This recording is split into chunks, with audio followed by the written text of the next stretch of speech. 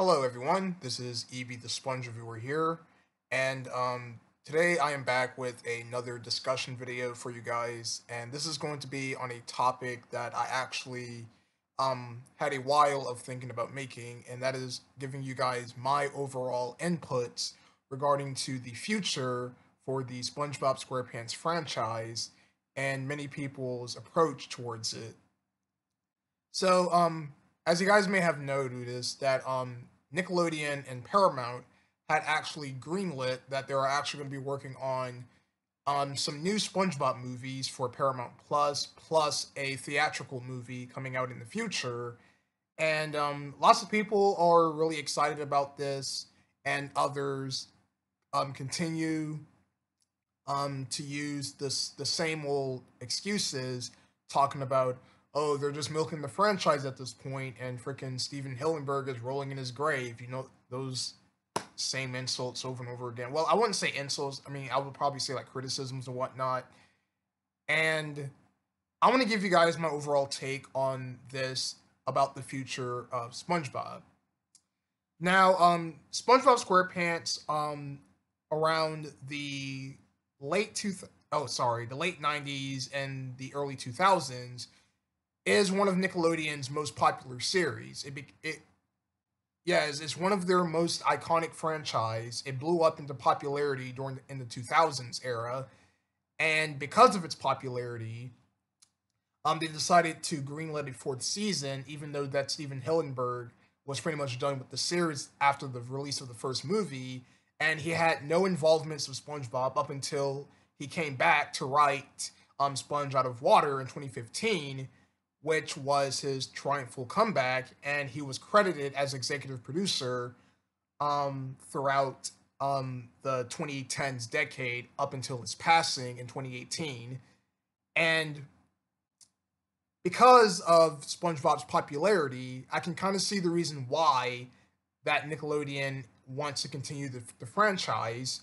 And in my own personal opinions on this take, I really don't have an issue with the current progress of SpongeBob. I think SpongeBob SquarePants as a series right now is doing pretty good. I think that the I, I really do think the show is throwing out unique ideas while others still think that the show is still bad because oh this isn't it, because they don't think it's like the first three seasons and because the, the show had a seasonal rot at during season six and seven they still think that the show is bad to this day even though that the episodes have improved more and more.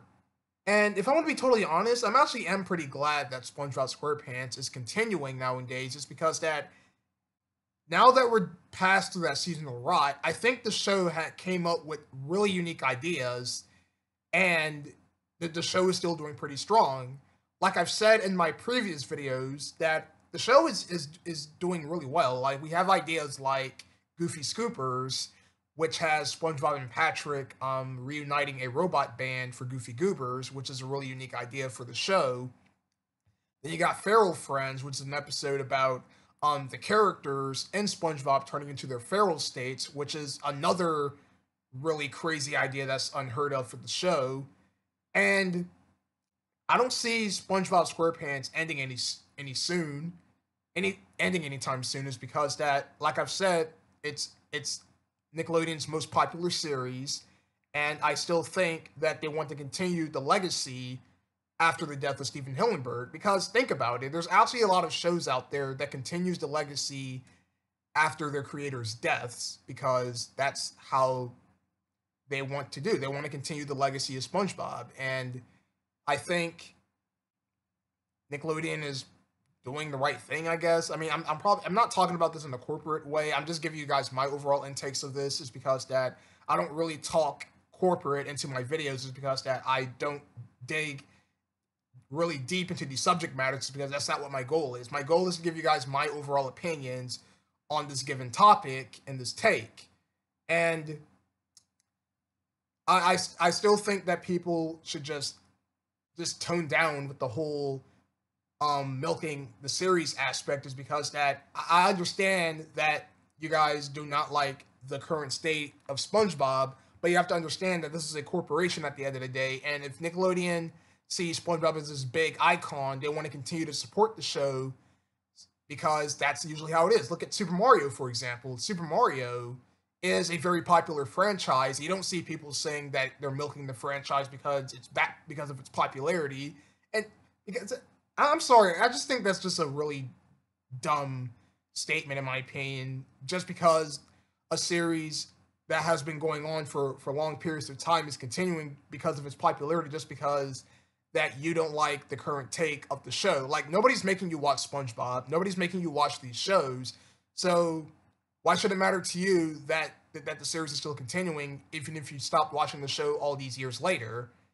That's I mean, I'm just saying that because it, it just kind of makes the most sense. Like, let people enjoy these things and, and, and don't be a, such a party pooper about it because you don't like the current direction that the show is going. Because in my opinion, I was at a at a, I was at a point where I really didn't really appreciate um a lot of the newer stuff for SpongeBob. In fact, in around 2016, I would often bash on the new episodes for no reason because I probably didn't give them a, a chance or whatnot, or that was probably at a time where I wasn't watching SpongeBob all that much. But that all changed in 2017 when I sat down and watched Goodbye Krabby Patty, and that's when my opinions of the show changed, and now I actually really enjoy the newer stuff. Even though it's been a long time since I went back and saw any of the seasonal rot episodes like seasons five and six and whatnot, and seven, if you include season seven. It's been a while since I've seen those episodes, and as a matter of fact, I may have not remembered seeing those episodes when I was when I was like in middle school or whatnot. I may have remembered seeing them, but my memory is very fogged up. But all I'm here to say is is that I think SpongeBob's future is going to be a good one. Is because that we have the spin-off shows like the Patrick Star Show, which in my opinion is a really good spin-off, is because it tries to be its own thing. Because I'm telling you guys right now that the Patrick Star Show does not feel like the original SpongeBob series at all. It's because that it doesn't really utilizes all the main characters all that much. In fact, they're they only appear like in a few episodes and that's it. They're not the major focus of the show, like Camp Coral, for example. Now, Camp Coral, in my opinion, just feels like a watered down version of the original series because it has the same main characters as kids. It's taking place at a summer camp, and the the humor is kind of similar to the original SpongeBob series. While at least on the Patrick Star show's front, they actually try to be a, a unique series and try to do something different by adding unique animation styles. They don't focus on the main characters from the original series all that much. It's, it's mainly about Patrick and his family, which is really good. So I don't know where people are getting the, oh, the Patrick Star Show feels like the original series aspects from because I really don't see that at all. I don't see the Patrick Star Show like the SpongeBob series, the original series.